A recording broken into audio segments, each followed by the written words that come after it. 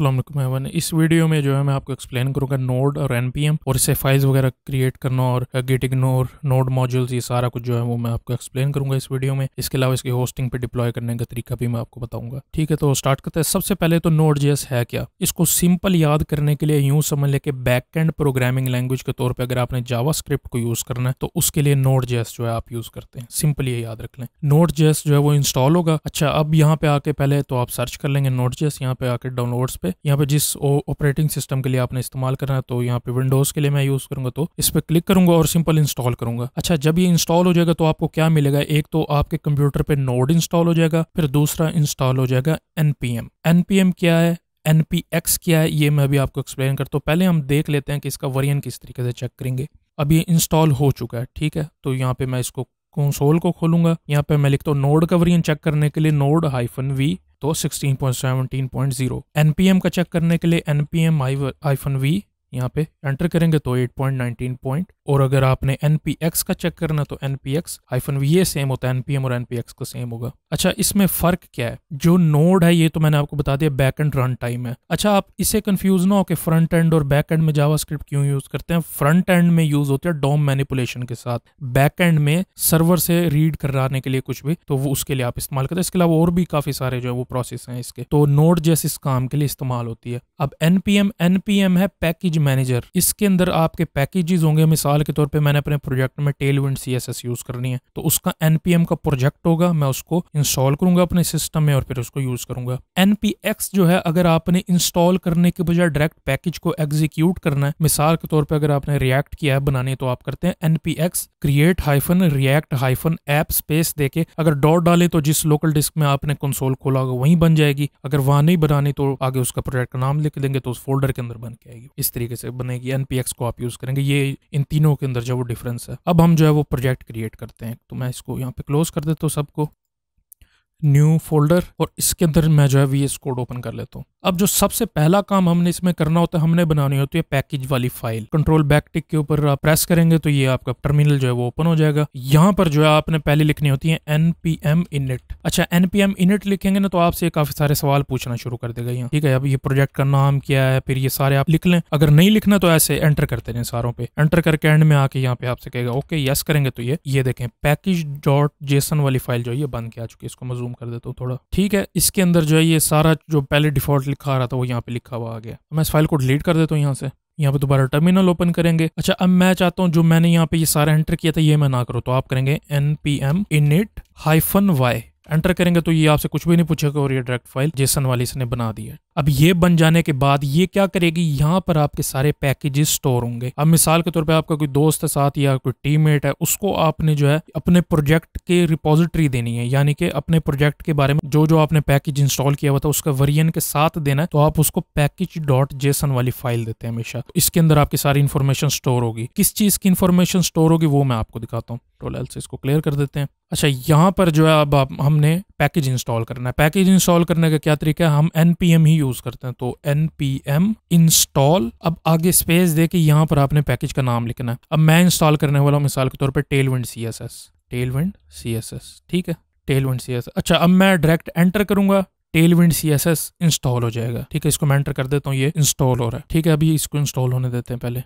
अच्छा जब ये इंस्टॉल हो जाता है तो यहाँ पे ना फोल्डर बन गया नोड अंडर स्कोर मॉड्यूल्स का, ठीक है? ये भी अभी मैं आपको एक्सप्लेन करता हूँ और उसके साथ दूसरी लॉक वाली फ़ाइल भी आती है। हमारा जो मेन काम है वो भी जेसन के साथ है। पैकेज लॉक के साथ हमारा कोई ताल्लुक नहीं होता। अच्छा अब एक और तरीका ये है कि अगर आपने लेटेस्ट वाला इंस्टॉल करना है तो NPM install Tailwind C S S at the rate latest इस तरीके से भी आप कर सकते हैं। फिर एक और तरीका है कि यहाँ पर आप हाइफन डी डाल दें। हाइफन डी का मतलब होता है कि ये डेव डिपेंडेंसी होगी। डेव डिपेंडेंसी क्या होती है? यानी कि डेवलपमेंट में यूज़ होगी। अभी हम वेबसाइट क्रिएट कर रहे हैं तो वेबसाइट डेवलपमेंट में ना कि यूज़ में तो हम इसको हाइफन डी साथ ऐड कर देते ताकि ये हमारी डेवलपमेंट डिपेंडेंसी के तौर पर इस्तेमाल हो। मैं यहाँ पे एंटर करूँगा तो ये एज ए डेव डिपेंडेंसी के तौर पर इंस्टॉल हो जाएगा। फिर पैकेज डॉट जेसन में आएँगे तो यहाँ पे डेव डिपेंडेंसी इसके अंदर जो है ये टेलवेंट सी एस एस आ गया। अगर आप साथ हाइफन डी ना डालें, तब ये डेव साथ नहीं लिखाते, ये डिपेंडेंसी इसके अंदर जो है वो कंसीडर होता है। ये तरीका तो हो गया पैकेजेस इंस्टॉल करने का। अब आ जाती है नोड अंडरस्कोर मॉड्यूल्स अच्छा ये फ़ाइल जो है ना, बहुत हैवी होती है। इसके अंदर सारे जो भी पैकेज आपने इंस्टॉल किया ना, उसको यूज़ करने के लिए, उसकी सारी सेटिंग वगैरह जो, वो सारी इसके अंदर होती है नोड अंडरस्कोर मॉड्यूल्स के अंदर। इसका मैं आपको साइज़ दिखाता हूँ, यहाँ पे ओपन करके। इसकी प्रॉपर्टीज़ में जाते हैं तो ये तकरीबन सेवन एम की है, बाजू का आती है फिफ्टी या हंड्रेड एम तक की भी हो जाती है डिपेंड करता है कि आपने कितने जो पैकेज इंस्टॉल किए हुए अब अगर आपने साथ इसको अपलोड नहीं करा ना, अगर गिट के ऊपर अपलोड करें तो यहाँ पे ना एक फ़ाइल ऐड होती है डॉट गिट इग्नोर अच्छा ये ना इसे बाहर ऐड करनी है आपने, यहाँ पे आके ना dot git ignore git ignore में क्या लिखना होता है? आपने dot slash node underscore modules modules ठीक है? इसे ये होता है कि जब आप अपलोड करेंगे तो ऑटोमेटिकली गिट इसको रीड करेगा और ये वाला फोल्डर जो स्किप कर देगा क्योंकि ये बहुत बड़ा फोल्डर होता है इसके अंदर। काफ़ी सारी जो है वो फाइल्स होती हैं तो इसलिए ये स्किप हो जाएगा। बाकी जितना भी डाटा है वो सारा अपलोड हो जाएगा। अगर आपने कोई डॉट ई वाली फ़ाइल रखी हुई है साथ तो वो भी आप स्किप करा सकते हैं इसमें।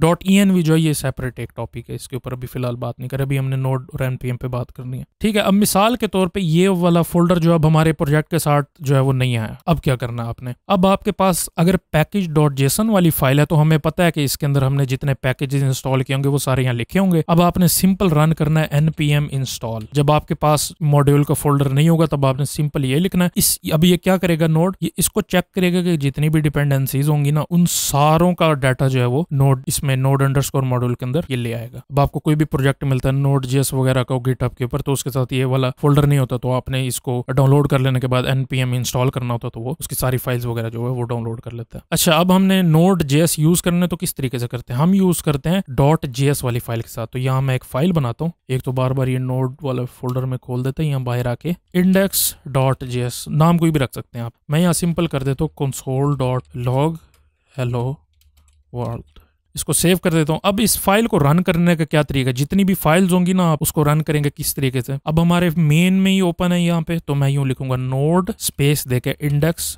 डॉट जेएस एंटर करूँगा तो अभी हमारी फ़ाइल रन होगी और इसने कंसोल में कंसोल डॉट लॉग यहाँ पे हमें शो करा दिया ठीक है? अगर यहाँ पे किसी फोल्डर में होगी, जैसे मिसाल के तौर पर कॉन्फिग है कॉन्फिग के अंदर जाके यहाँ पे फ़ाइल है कॉन्फिग डॉट जेएस इसके अंदर हमने लिखा हुआ hello world hello from config यहाँ पे हमने चलाना तो यूँ लिखेंगे node dot slash config slash config dot JS enter करेंगे तो ये देखें, इसने हेलो फ्रॉम कॉन्फिग में यहाँ पे शो करा दिया, ठीक है? डॉट स्लैश का मतलब है कि यहाँ पे मेन फोल्डर है, इसके साथ अंदर फोल्डर है कॉन्फिग का, उसके अंदर जो हमारी फ़ाइल हमने आगे लिख दी है। अब आपको इस तरीके के पैकेजेस भी मिलेंगे जो आपने अपने प्रोजेक्ट में यूज़ करने होते हैं। तो मैं क्या करूँगा इंडेक्स पे पहले हम आ जाते हैं, और अब मैं यूज़ करने वाला हूँ एक्सप्रेस तो एक्सप्रेस किस तरीके से यूज़ करूँगा, पहले मुझे इसका पैकेज चाहिए तो मैंने लिखना एनपीएम इंस्टॉल एक्सप्रेस अच्छा साथ ये hyphen D at the rate latest ये लिखने की ज़रूरत नहीं ये लेटेस्ट ही डाउनलोड करता हूँ एंटर कर देंगे। अब ये जो है एक्सप्रेस ये डाउनलोड कर लिया इसने और ये हमारा प्रोजेक्ट के अंदर यहाँ पे ऐड हो गया पैकेजेस में जाएँगे तो यहाँ पर देखें डेव डिपेंडेंसी अलग बनी है या डिपेंडेंसीज अलग बनी आती है? तो हमारी एक्सप्रेस जो है वो प्रोडक्शन के लिए हम यूज़ कर सकते हैं। इंडेक्स में आएँगे। अब इसको इंपोर्ट करने का क्या तरीका आपने यूँ करना है। एक तो है कि constant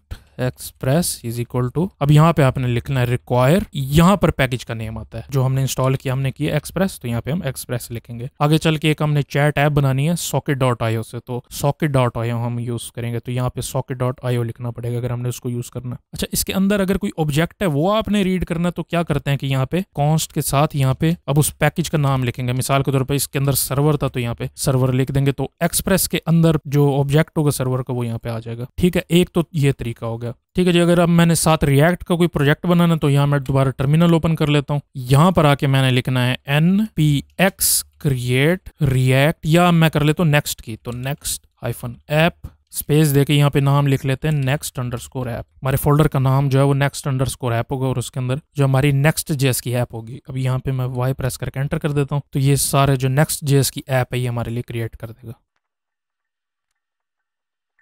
ठीक है जी, हमारी ऐप बन चुकी है। अब अच्छा इसको मैं ना साथ ओपन रखता हूँ, ठीक है? इसमें मैं जाके ये जो हमने नेक्स्ट ऐप बनाई है, इसको मैं दोबारा ओपन कर लेता हूँ ओपन विद कोड ठीक है? यहाँ पर ना मैंने आपको एक चीज़ दिखानी है, वो क्या है? अगर मैं पैकेट डॉट जेसन इसमें जाता हूँ, ठीक है? तो यहाँ पर हमें क्या मिलता है? यहाँ पर हमें मिलता है ये स्क्रिप्ट स्क्रिप्ट के अंदर dev next dev build next build start next start और लिंट नेक्स्ट लिंट अच्छा बिल्ट जहाँ पर आप देखेंगे ना, हमेशा वहाँ समझ लें कि ये प्रोडक्शन में यूज़ होना है। यानी कि जब आपने अपनी वेबसाइट कंप्लीट कर लिया तो आप क्या करेंगे? नेक्स्ट बिल्ट लिखेंगे तो आपकी वेबसाइट जो है वो डिप्लॉय करने के लिए तैयार हो जाएगी। अब मैं जो आपको दूसरे वाला दिखाता हूँ, जो हमारे यहाँ पे प्रोजेक्ट है, ये। यहाँ पर मैं जाऊँ ना तो यहाँ पर यहाँ पर पैकेज डॉट जेसन के अंदर हमारी स्क्रिप्ट में लिखा टेस्ट और यहाँ पे कुछ भी लिख सकते हैं आप। अच्छा यहाँ पर मैंने लिखा था, क्या? Node index dot J S ये मैंने लिखा था। अब मैं ये यहाँ लिखने की बजाय यहाँ लिख सकता हूँ।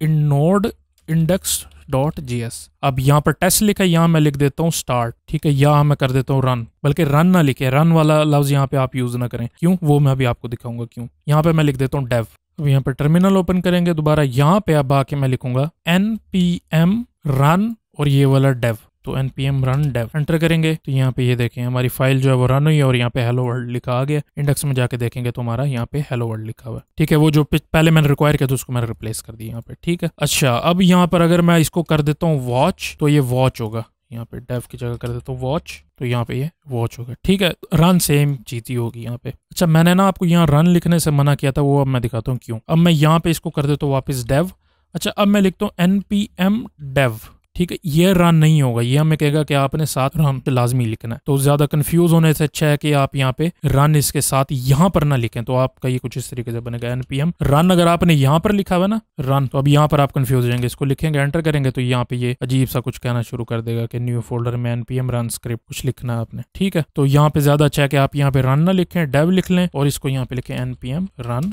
वॉच या डेव अच्छा अब अगर मैं दूसरे नोड वाले पे जाता हूँ ना तो आपको कुछ इस तरीके से भी मिलेंगे। यहाँ पर लिखा हुआ डेव तो नेक्स्ट डेव डायरेक्ट लिखा है। अच्छा अब मैं यूँ कर सकता हूँ यहाँ पे। इसका टर्मिनल ओपन करता हूँ, यहाँ पे लिखता हूँ N P M start enter करता हूँ। अब ये स्क्रिप्ट चलाएगा हमारी। अब यहाँ पे कह रहा है कि इसलिए नहीं चला सकते क्योंकि सर्वर जो हमारा प्रोडक्शन स्टेट में नहीं है बिल्ड स्टेट में अब यहाँ पे लिखा है डेव बिल्ड स्टार्ट इंट यहाँ पे मैं इसको ओपन करता हूँ। दोबारा टर्मिनल को यहाँ पर लिखते हैं एनपीएम रन डेव एंटर कर देंगे अब ये डेवलपमेंट सर्वर जो है वो स्टार्ट कर देगा। इसके ऊपर इसके ऊपर कंट्रोल होल्ड करके लेफ़्ट क्लिक करेंगे तो ये हमारे यहाँ पे सर्वर में ओपन हो जाएगा, इसको मैं दिखाता हूँ। ये चल गया, ठीक है? तो इस तरीके से करके जो आप वो नोट जेएस को यूज़ करते हैं। अच्छा अब ये शो हो गया तो आप इसको पोर्ट फॉरवर्ड करके अपने सर्वर पे, यानी अपने होम वाले सर्वर पे या अपने कंप्यूटर से भी इसको होस्ट कर सकते हैं। बाकी है इसके काफ़ी सारी होस्टिंग अवेलेबल है, जैसे हरोकू हो गया, इसके अलावा और भी काफ़ी सारे जो है ए भी है डिजिटल ओशन भी है तो वहाँ पर भी जो है आप इसको अपनी ऐप को जो है वो डिप्लॉय कर सकते हैं। उनकी भी पोर्ट वहाँ पे ओपन करेंगे, तब ये जाके पब्लिक हो जाएगा। ठीक है जी नोट में बस इतना कुछ ही है कि आपने